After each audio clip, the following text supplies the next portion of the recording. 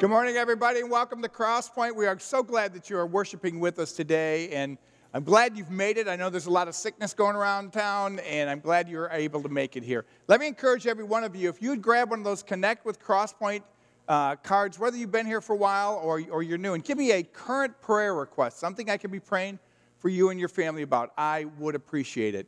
Uh, just a few announcements. We have uh, this coming up uh, Christmas Eve at 6:30. We have a Christmas Eve service. It'll go for a little less than an hour. So, want to encourage you if you can make it, if that works into your schedule. Would love to have you. Uh, also, the Buck Dinner tickets are on sale. Uh, Don Carey, who is the safety for the Lions, which made the playoffs, by the way, and they are Super Bowl bound. See how positive I'm getting now on that one? Woo woo.